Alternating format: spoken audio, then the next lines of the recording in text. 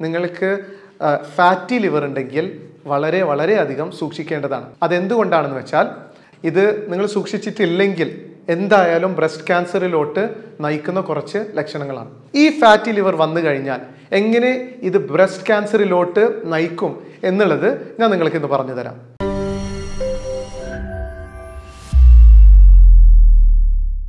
ഞാൻ doctor Hamid Mohiddeen chief medical officer Limra health care Kozhikode. അപ്പോൾ ഞാനിന്ന് പറയാൻ പോകുന്ന കുറച്ച് ലക്ഷണങ്ങൾ സ്ത്രീകൾ വളരെയധികം സൂക്ഷിക്കേണ്ടതാണ്. കാരണം ഇത് നിങ്ങൾ സൂക്ഷിച്ചിട്ടില്ലെങ്കിൽ എന്തായാലും ബ്രസ്റ്റ് ക്യാൻസറിലോട്ട് നയിക്കുന്ന കുറച്ച് ലക്ഷണങ്ങളാണ്. അപ്പോൾ ആദ്യമായിട്ട് നിങ്ങൾക്ക് ഫിസിക്കലി നിങ്ങൾക്ക് കാണാൻ പറ്റുന്നത് എന്തൊക്കെയാണെന്ന് വെച്ചാൽ കുറച്ച് റെഡിഷ്നെസ് അവിടെ കുറച്ച് ചുമപ്പ് നിറത്തിലുള്ള മാറ്റങ്ങൾ അല്ലെങ്കിൽ കളർ മാറ്റം. അല്ലെങ്കിൽ നിപ്പിൾ ഭാഗത്തിൽ കുറച്ച് ഉള്ളിലോട്ട് പോയിട്ടുള്ള ഇൻവേർട്ടഡ് നിപ്പിൾസ് എന്ന് പറയുന്ന ഒരു കണ്ടീഷൻ അതേപോലെ തന്നെ കുറച്ച് വീർപ്പ് അല്ലെങ്കിൽ മുഴ പോലെ വല്ലതും കണ്ടാൽ അല്ലെങ്കിൽ നിങ്ങൾക്ക് തൊട്ടറിയുന്നുണ്ടെങ്കിൽ കഴല എന്ന് പറയുന്ന lymph node lymph node inflammation നിങ്ങളുടെ ഉള്ളിൽ സർക്കുലേഷൻ ബ്ലഡ് സർക്കുലേഷനിൽ അല്ലെങ്കിൽ ഉള്ളിലുള്ള അവയവങ്ങൾക്ക് വല്ലതും സംഭവിച്ചാൽ ഇൻഫെക്ഷൻ ഉണ്ടെങ്കിൽ അല്ലെങ്കിൽ ട്യൂമർ ഉണ്ടെങ്കിൽ അല്ലെങ്കിൽ ക്യാൻസർ ഉണ്ടെങ്കിൽ ലിംഫ് നോഡ് നമ്മളുടെ കഴല എന്ന് പറയുന്നത് വീർത്തിരിക്കും. അവിടെയാണ് പല ഇൻഫെക്ഷൻസിന്റെയും ഒരു സൈന് നമുക്ക് കാണാം. അപ്പോൾ ഈ ഭാഗത്തുള്ള പല ലിംഫ് നോഡുകൾസും വീങ്ങിയിട്ടുണ്ടെങ്കിൽ ഇതൊക്കെ കണ്ണുകൊണ്ട് കാണാൻ പറ്റാവുന്നതാണ്. തൊട്ടറിയുന്നത് നമ്മളുടെ സ്കിന്നിന്റെ ഒരു ടെക്സ്ചർ അവിടെ തിക്കനിങ് ഉണ്ടെങ്കിൽ കുറച്ച് കട്ടിയായിട്ടുണ്ടെങ്കിൽ അതേപോലെ തന്നെ എല്ലാ ഭാഗത്തും എക്സാമിൻ ചെയ്ത് അവിടെ ഒരു മുഴ പോലെ നിങ്ങൾക്ക് തോന്നുന്നുണ്ടെങ്കിൽ ഇതെല്ലാം നിങ്ങൾ സൂക്ഷിക്കേണ്ടതാണ്. നിങ്ങൾ ഒരു റെഗുലറായിട്ട് ഒരു ഇരുപത്തിമൂന്ന് വയസ്സ് കഴിഞ്ഞാൽ അല്ലെങ്കിൽ ഇരുപത്തഞ്ച് വയസ്സ് കഴിഞ്ഞാൽ നിങ്ങൾ റെഗുലറായിട്ട് ഒന്ന് എക്സാമിൻ ചെയ്യുന്നത് ഏറ്റവും നല്ലതാണ്. കാരണം അങ്ങനെ എക്സാമിൻ ചെയ്ത് നിങ്ങൾക്ക് വല്ല ഒരു സംശയം തോന്നിയിട്ടുണ്ടെങ്കിൽ എന്തായാലും അതൊന്ന് കാണിക്കേണ്ടതാണ്. അതേപോലെ തന്നെ ഇതിന്റെ ഇത്രയും സൈൻസും സിംറ്റംസും ഉള്ളതിനെ കൂടെ തന്നെ നിങ്ങൾക്ക് ഫാറ്റി ലിവർ ഉണ്ടെങ്കിൽ വളരെ വളരെ അധികം സൂക്ഷിക്കേണ്ടതാണ്. അതെന്തുകൊണ്ടാണെന്ന് വെച്ചാൽ നിങ്ങൾ കഴിക്കുന്ന അധികമായിട്ടുള്ള അരിയാഹാരം അല്ലെങ്കിൽ മധുരപലഹാരത്തിൽ നിന്നും വരുന്ന ഈ ഒരു ഷുഗർ കൊഴുപ്പായി മാറി നിങ്ങളുടെ കരളിൽ അടിയുന്ന ഒരു അവസ്ഥയാണ് ഫാറ്റി ലിവർ എന്ന് പറയുന്നത്. ലിവറിൽ കൊഴുപ്പ് അടിയുകയും ഓരോ കോശങ്ങളിൽ കൊഴുപ്പ് അടിയുകയും ആ, ആ ലിവർ തന്നെ ഒരു ഇൻഫ്ലെയിംഡ് ഒരു വീങ്ങിക്കെടുക്കുന്ന ഒരു അവസ്ഥയും വരുന്നതാണ് ഫാറ്റി ലിവർ എന്ന് പറയുന്നത്. ഈ ഫാറ്റി ലിവർ വന്നു കഴിഞ്ഞാൽ എങ്ങനെ ഇത് ബ്രസ്റ്റ് ക്യാൻസറിലോട്ട് നയിക്കും എന്നുള്ളത് ഞാൻ നിങ്ങൾക്ക് ഇന്ന് പറഞ്ഞു തരാം. ഞാൻ എപ്പോഴും പറയുന്ന ഒരു കാര്യം ഷുഗർ അല്ലെങ്കിൽ അരി ഭക്ഷണം ഷുഗർ അടങ്ങിയിട്ടുള്ള അരി ഭക്ഷണം കുറയ്ക്കുക എന്നുള്ളതാണ്. അത് എന്തുകൊണ്ടാണെന്ന് വെച്ചാൽ നിങ്ങൾക്ക് തന്നെ ഇപ്പോൾ മടുത്ത് കാണും. എപ്പോൾ ഈ ഡോക്ടർ നമ്മളുടെ മുന്നിൽ സ്ക്രീനിൽ വന്നാലും പറയുന്ന ഒരു കാര്യം അരി ഭക്ഷണം ഒഴിവാക്കുക എന്നുള്ളതാണ്. അപ്പോൾ ഇതെന്ത് കാരണമാണ് ഞാൻ പറയുന്നതെന്ന് വെച്ചാൽ ഇതെല്ലാം റിലേറ്റഡ് ആണ്. എല്ലാ മാരകമായിട്ടുള്ള രോഗങ്ങൾക്കും ഈ ഒരു അടിത്തറ വെച്ച് നോക്കിയിട്ടുണ്ടെങ്കിൽ എല്ലാത്തിലോട്ടും റിലേറ്റ് ആവുന്ന ഒരു കോമൺ കോസ് ആണ് ഈ എക്സസ് ആയിട്ടുള്ള ഷുഗർ ഇൻടേക്ക് എല്ലാ വക മെറ്റബോളിക് ഡിസീസ് അല്ലെങ്കിൽ ക്രോണിക് ഡിസീസ് എല്ലാത്തിനും ഏറ്റവും ബാക്കിൽ കിടക്കുന്ന റീസൺ ഈ ഒരു എക്സസ് ഷുഗർ ഇൻടേക്ക് ആണ്.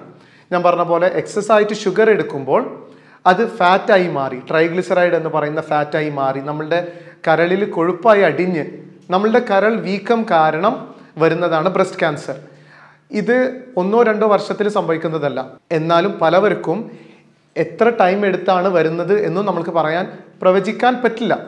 അവർക്ക് ചിലപ്പോൾ രണ്ട് വർഷം ചിലവർക്ക് പത്ത് വർഷം. അപ്പോൾ ഈ ഒരു ഡിസീസ് എന്ന് പറയുന്നത് നിങ്ങൾക്ക് പ്രിവെന്റ് ചെയ്യാൻ പറ്റാവുന്നതാണ്. അതേപോലെ തന്നെ ഫസ്റ്റ് സ്റ്റേജിലോ സെക്കൻഡ് സ്റ്റേജിലോ ഒക്കെ കണ്ടുപിടിച്ചിട്ടുണ്ടെങ്കിൽ തന്നെ അതിനെ നിർത്താൻ പറ്റാവുന്നതാണ്. അപ്പോൾ എങ്ങനെയാണ് ഫാറ്റി ലിവർ ബ്രസ്റ്റ് ക്യാൻസറിലോട്ട് നയിക്കുന്നത്? ലിവർ എന്ന് പറയുന്നത് നമ്മൾക്ക് വളരെ അത്യാവശ്യമായ ഒരു വെരി ഇമ്പോർട്ടന്റ് ആയിട്ടുള്ള ഒരു ഒരു ഓർഗനാണ് ഒരു അവയവമാണ്.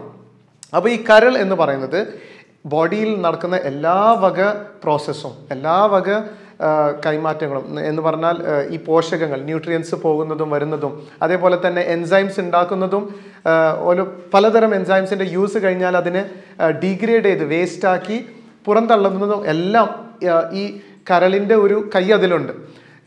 It is moving through the liver അപ്പോൾ ലിവറിന് വല്ല പ്രശ്നം വന്നാൽ പല പ്രോസസ്സുകളും അവിടെ കെട്ടിക്കെടുക്കുകയാണ് എന്ന് പറഞ്ഞാൽ പലതും ഉണ്ടാവുന്നില്ല ഉൽപ്പാദിപ്പിക്കപ്പെടുന്നില്ല അല്ലെങ്കിൽ പലതും പുറന്തള്ളപ്പെടുന്നില്ല.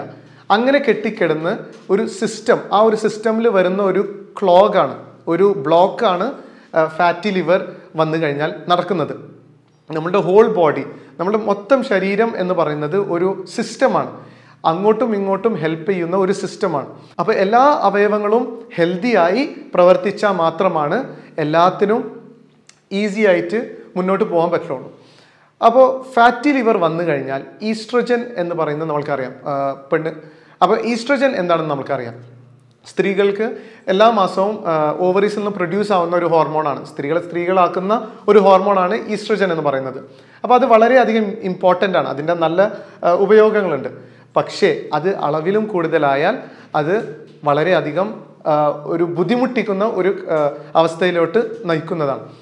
ഈസ്ട്രജൻ എന്ന് പറയുന്നത് അതിന്റെ നീഡ്സ് അതിന്റെ പ്രോസസ്സ് കഴിഞ്ഞാൽ ലിവറിലോട്ട് പോയി ഡീഗ്രേഡായി പുറന്തള്ളപ്പെടേണ്ട ഒരു എൻസൈമാണ് ഒരു ഹോർമോണാണ് അപ്പോൾ ഫാറ്റി ലിവർ കാരണം ഈസ്ട്രജൻ നമ്മളുടെ ബോഡിയിൽ ഇങ്ങനെ പൈലപ്പ് ആവാണ് ഇങ്ങനെ കെട്ടിക്കെടുക്കുകയാണ് കെട്ടിക്കെടുക്കുമ്പോൾ ഈ ഈസ്ട്രജൻ ആവശ്യമില്ലാത്ത സ്ഥലങ്ങളിലോട്ട് പോയി ജോയിൻ ചെയ്യും. ഈസ്ട്രജൻ എന്ന് പറയുന്ന നല്ലൊരു ഗ്രോത്ത് ഹോർമോണാണ് അപ്പോൾ ഈസ്ട്രജന് ഒരു ടെൻഡൻസി ഉണ്ട്. പലതരം സ്ഥലങ്ങളിലോട്ട് പോയി ഇരിക്കുന്ന ഒരു ടെൻഡൻസി ഉണ്ട്. അപ്പോൾ ഈസ്ട്രജൻ എന്ന് പറയുന്നത് ബ്രസ്റ്റിലോട്ടുള്ള ഏരിയയിലോട്ട് പോയി അവിടെയുള്ള സെൽസിനെ പെട്ടെന്ന് വർദ്ധിപ്പിക്കുന്നതാണ് ഈ ബ്രസ്റ്റ് ക്യാൻസർ എന്ന് പറയുന്നത്. ഈസ്ട്രജൻ എന്ന് പറയുന്ന ഹോർമോൺ അമിതമായിട്ട് നമ്മളുടെ ശരീരത്തിൽ ഉണ്ടാകുമ്പോൾ അത് ബ്രസ്റ്റിലോട്ടുള്ള ഏരിയയിലോട്ട് പോയി അവിടെ അവിടുത്തെ സെൽസിനെ അവിടുത്തെ കോശങ്ങളെ പെട്ടെന്ന് തന്നെ ഒരു ക്യാൻസർ എന്ന് പറയുന്നത് uncontrolled growth or proliferation of cells കോശങ്ങളുടെ നിയന്ത്രണമില്ലാത്ത ഗ്രോത്താണ് ക്യാൻസർ എന്ന് പറയുന്നത്. അപ്പോൾ ഈസ്ട്രജൻ എന്താണ് ചെയ്യുന്നത്? ഈസ്ട്രജൻ ഒരു നല്ല ഗ്രോത്ത് ഹോർമോണാണ് അത് പോയി അവിടെ ബ്രസ്റ്റിൽ പോയി ഇരുന്ന് അവിടുത്തെ സെൽസിനെ പെട്ടെന്ന് പെട്ടെന്ന് ഗ്രോ ചെയ്യിപ്പിക്കുന്നത് പ്രൊലിഫറേറ്റ് ചെയ്യുന്നത് മൾട്ടിപ്ലൈ ചെയ്യിപ്പിക്കുന്നതാണ് ഈ ബ്രസ്റ്റ് ക്യാൻസറിനുള്ള ഏറ്റവും വലിയ ഒരു കാരണം. ഒരു എയ്റ്റി പെർസെന്റേജോളം ബ്രസ്റ്റ് ക്യാൻസറിനോ ബ്രസ്റ്റ് ക്യാൻസർ വരാനുള്ള കാരണം ഇൻസുലിൻ റെസിസ്റ്റൻസ് ഫാറ്റി ലിവർ എന്നിട്ട് വരുന്ന ഈ ബ്രസ്റ്റ് ക്യാൻസറാണ് അപ്പോൾ നമ്മൾ നല്ലോണം സൂക്ഷിക്കേണ്ടത് ഈ ഒരു സയൻസ് ഉണ്ടെങ്കിലും നമ്മൾ അതിനു മുന്നേ നമുക്ക് പ്രിവെന്റ് ചെയ്യണമെങ്കിൽ നമ്മൾ സൂക്ഷിക്കേണ്ടത് നമ്മളുടെ വെയിറ്റും നമ്മളുടെ ഫുഡ് ഇൻടേക്കും നമ്മൾക്ക് ഫാറ്റി ലിവർ ഉണ്ടെങ്കിൽ ഒന്നുകൂടെ സൂക്ഷിക്കേണ്ടതാണ്. അപ്പോൾ ഗ്രെയിൻസ് അല്ലെങ്കിൽ ഷുഗർ ഉള്ള ഫുഡ് നല്ലോണം കുറച്ച് നല്ല ഫാറ്റ്സ് നല്ല കൊഴുപ്പ് നെയ്യ് ബട്ടർ ചീസ് പാൽ മാംസാഹാരം മീന് അതേപോലെ തന്നെ വെളിച്ചെണ്ണ നാളികേരം ഇതെല്ലാം ധാരാളം കഴിക്കുക. നട്ട്സ് എല്ലാം ധാരാളം കഴിച്ച് പ്രോട്ടീൻസും കഴിക്കുക. അതേപോലെ തന്നെ മില്ലറ്റ്സ് ആൻഡ് ഗ്രെയിൻസ് നല്ലോണം കുറയ്ക്കുക ഈ ഒരു ഭക്ഷണ രീതിയിലോട്ട് പോകേണ്ടതാണ്. നമ്മൾക്ക് ഫാറ്റി ലിവർ ഉണ്ട് എന്ന് അറിയുമ്പോൾ തന്നെ നിങ്ങളത് മാറ്റേണ്ടതാണ്. ഇതേപോലെ തന്നെ തൈറോയിഡ് കോസ് ചെയ്യാനും ഫാറ്റി ലിവർ ഈസ്ട്രജൻ ഡോമിനൻസും കോസ് ചെയ്യുന്നതാണ്. ഫാറ്റി ലിവറും കോസ് ചെയ്യുന്നതാണ്. രണ്ട് രണ്ട് വഴിയിലൂടെ കോസ് ചെയ്യുന്നുണ്ട്. എന്നാലും തൈറോയിഡ് ഉള്ളവരും വളരെയധികം സൂക്ഷിക്കേണ്ടതാണ്. ഇതേപോലെ തന്നെ പി സി ഒ ഡി എല്ലാ രോഗങ്ങളും ഇങ്ങനെ ഇന്റർ കണക്റ്റഡ് ആണ്. അപ്പോൾ നിങ്ങൾ ഭയങ്കരമായിട്ട് സൂക്ഷിക്കേണ്ട ഒരു കാര്യം ഈ ഒരു ഇൻസുലിൻ റെസിസ്റ്റൻസ് എന്ന് പറയുന്ന പൊണ്ണത്തടി അല്ലെങ്കിൽ ഇവിടെ ബെല്ലി ഫാറ്റ് വയറ് വയറ്റിൽ വയറ് ഭാഗത്ത് അടിഞ്ഞുകൂടുന്ന കൊഴുപ്പ് എല്ലാം നിങ്ങൾ ധാരാളമായിട്ട് സൂക്ഷിക്കേണ്ടതാണ്. ഇപ്പോൾ ഇത്രയും കാര്യങ്ങൾ നമ്മൾ പ്രിവെൻഷന് വേണ്ടിയിട്ട് പറഞ്ഞു. ഇപ്പോൾ ട്രീറ്റ്മെന്റ് ഭാഗത്തോട്ട് നോക്കുകയാണെങ്കിൽ അതിന്റെ സെക്കൻഡ് സ്റ്റേജ് കടന്ന് ഒരു അവസ്ഥയാണെങ്കിൽ നിങ്ങൾ എന്തായാലും അതിന്റേതായ കീമോതെറപ്പി അങ്ങനത്തെ ഒരു അതിന്റെ എക്സ്പേർട്സിനെ കണ്ട് ആ ഒരു ലൈനിലോട്ട് നിങ്ങൾ പോകേണ്ടതാണ്. അത് വേറെ വഴിയില്ല because that is the best treatment method for us ഇപ്പോൾ ഉള്ള നിലവിലുള്ള ഏറ്റവും ബെസ്റ്റ് വഴി അതാണ്. പക്ഷേ അതിന്റെ കൂടെ തന്നെ നിങ്ങൾ ഈ ഒരു ഡയറ്റ് ഫോളോ ചെയ്യുകയാണെങ്കിൽ അതെന്തായാലും നന്നായിട്ട് ഹെൽപ്പ് ചെയ്യും. ഈ ഒരു ട്രീറ്റ്മെന്റിനെ സപ്പോർട്ട് ചെയ്യാനും നന്നായിട്ട് ഹെൽപ്പ് ചെയ്യും പ്രിവെൻഷനും ഹെൽപ്പ് ചെയ്യും. അപ്പോൾ എന്തായാലും സൂക്ഷിക്കുക. ഇങ്ങനെയൊക്കെ കണ്ടിട്ടുണ്ടെങ്കിൽ അല്ലെങ്കിൽ ഇങ്ങനെയൊക്കെ ഒരു ബോഡിയിൽ ഒരു കണ്ടീഷൻ ഉണ്ട് എന്ന് നിങ്ങൾ അറിയുമ്പോൾ എന്തായാലും സൂക്ഷിക്കേണ്ടതാണ്. ഇതെല്ലാവർക്കും പറഞ്ഞു കൊടുക്കേണ്ടതാണ്. താങ്ക്